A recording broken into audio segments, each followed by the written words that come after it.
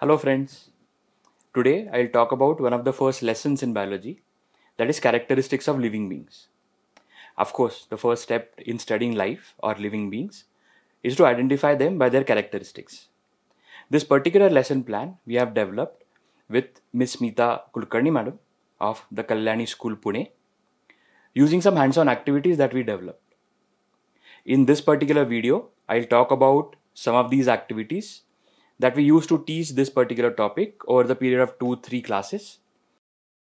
Identifying the distinguishing characteristics of living beings, demonstrating the process of growth, process of respiration, an experiment to check the need for food, characteristic of excretion, response to stimuli using a touch me not plant, reproduction in onion, and observing cell structure. You can start your class with a lively activity you can ask your students to go out uh, in the school premises and try to find and note down five living and five non-living things and of course their surroundings. Once they return you can form different groups and start discussions. During the discussions you can ask them on what basis they decide which is living and which is non-living. After this you can note down the points that come up in the discussion on the blackboard to make it more engaging we can give them some time to make a full game to list their objects and the characteristics they come up with. See this. The aim of this activity is not to get ready made correct answers. Rather, at this stage, we can assess the understanding of our students. For example, a student may say television is a living being or movement is a very important characteristics of living things. Now all these are very good observations and we should accept these answers. Later during the lesson, we can obviously focus on detailing and removing these misconceptions. At the same time, as students learn through this lesson, they themselves start correcting them. Most of these characteristics are familiar to students in some way or the other. Using this as a base, we can build a mind map such as this during the lesson, which will keep these various concepts accessible to all the students while learning in this lesson. Once the overview is complete, we can move on to different activities that describe each of these characteristics. To begin with, the first is growth.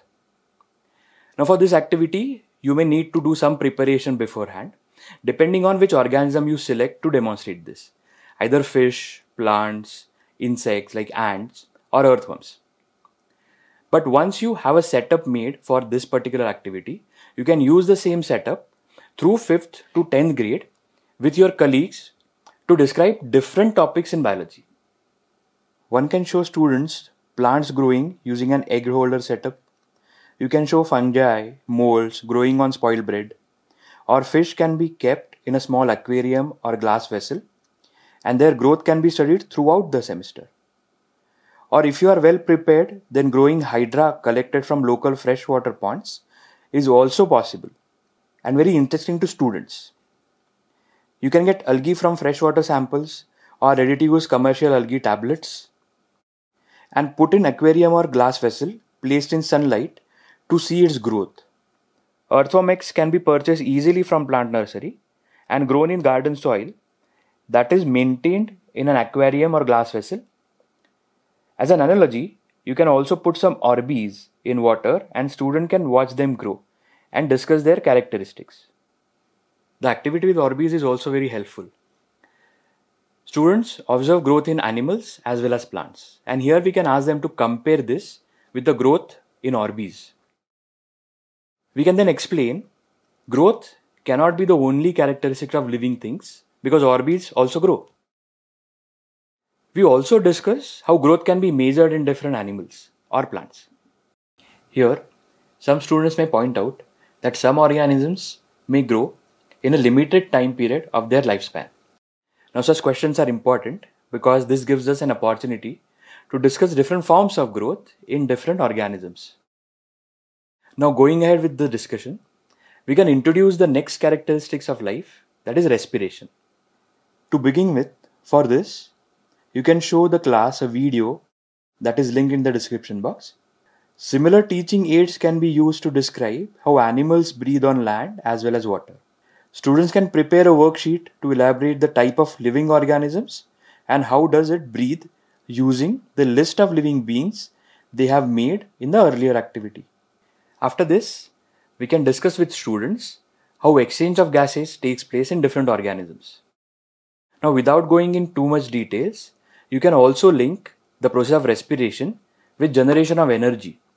To link the energy discussion, we can move on to our next characteristic that is necessity of food or nutrition. In this, we can discuss with students what are their eating habits and what would happen if they miss a meal. Now, this creates a lot of fun filled discussion and this helps us engaging students in this particular lesson. Additionally, using a food web chart, we can also discuss how animals find their food, what are their eating habits, and discuss categories like herbivores and carnivores. We can then extend the discussion briefly to examples in specific groups like plants, fungi, and bacteria, etc. Here are two hands on activities to demonstrate and verify the necessity of food in living beings, where we have used two different examples. First, we made an earthworm farm using simple things like a jar, some soil, and some waste fruits and vegetables. After making the earthworm farm, we asked students to observe the farm for the next few days. They observed that the food got reduced and all the earthworms were concentrated near the food. Their size also increased. In the next activity, we demonstrated attracting fruit flies towards the food. Take a used plastic bottle, cut out the top two third portion and remove the cap. Make holes in the cap, add waste foods like oranges, banana pulp to the base of the bottle. Invert the top of the bottle such that the opening of the inverted portion is above the rotting food. We place this bottle outside the class and soon we observed that many fruit flies came in search of food, entered the bottle and got trapped. Here we can discuss how these living organisms like fruit flies are well equipped to search their food and consume it which is very important characteristic of living beings. Here we can also connect the characteristics learned so far, that is growth, respiration, and consumption of food for nutrition. Here we can go back to the mind map we prepared earlier.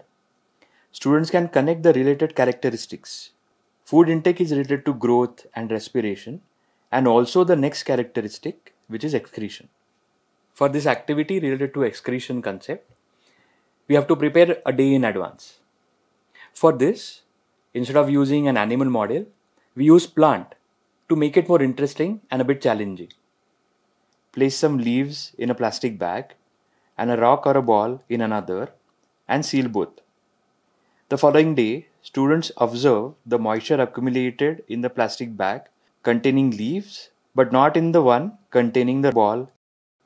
Student had some basic idea about transpiration in plants and hence they could relate to presence of moisture in the plastic bag.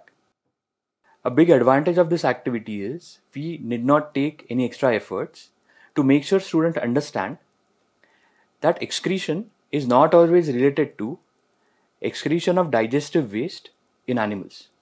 To take the point home, we also watch this video and discuss excretion in few other animals. This video is also listed in the description box. Next, we can look at the important characteristic of response to stimuli. Being a new term, student may take some time to understand. For this, we can show them the uniqueness of touch plant. The reaction of the plant is always very surprising to the class. We can discuss the possible reasons for this, why this happens, and also explain the terms like stimulus and the concept of response to stimuli. After this, students actually come up with many examples of their own that they see around them. You can also recall the topic of nervous system that they have learned in 5th standard. In case if you don't have touch me not plant, you can try this with a fast growing plant in egg trees. And here also keep a second egg tray in the box where there is no direct sunlight. The plants in the box grow towards the opening from where they can get some sunlight. This, as you know, is plants responding to the stimulus of sunlight known as phototropism. After this, we move on to our next characteristic of living beings that is reproduction. For this, keep an onion in contact with water like this. Over 2 3 days, you can see first the roots and then shoots coming out, and an onion giving rise to a complete plant. Together in the class, we discuss how a new onion plant came from an onion that we eat. We can also demonstrate the concept of reproduction using simple organisms that can grow very fast, like yeast or hydra. We also discuss different offsprings of different animals that students know. During the discussion, students realize how these offsprings can grow as adults and then again produce new offsprings. Basically, they understood the cycle of life. We can then focus on to the so-called unit of life, that is a cell, to discuss our last characteristic of cellular structure. You can prepare some microscope slides of cells from plants or animals and also some non-living objects for students to compare. Students can come and observe the microscope slides one after another and note down their observations. This is mainly to introduce them to cells. Later in higher grades, they will learn more about cells and cell organelles, etc.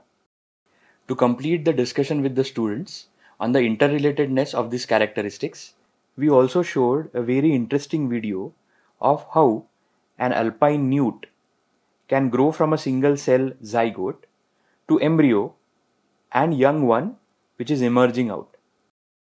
Please note that heredity is also one of the very important characteristics of living beings. Our students will learn this in higher grades, but it is important to introduce it. While our students discuss these characteristics, there are some things or concepts that our students should remember. First, even though non living organisms may possess or demonstrate some of the living being characteristics, none of them will possess all of these characteristics together. As a challenge, we can ask our students to find some examples of these non living beings. This mainly improves their inquiry skills and help them design a process of experimentation. Secondly, it is important that our students realize that all these characteristics are interconnected, which they see or go through during the process of the whole lesson. And third, these characteristics is a result of many processes happening inside the body. This helps us to build the foundation for all biology lessons for the higher grade in a very satisfactory manner. We know it from our experience that hands on activities are a very good stimuli for learning. As it also gives food for thought, and we can see our students' understanding grow. The same activities are given in details in our text lesson plan. The link is given in the description box. Do try this and please let us know your feedback. Thank you for watching.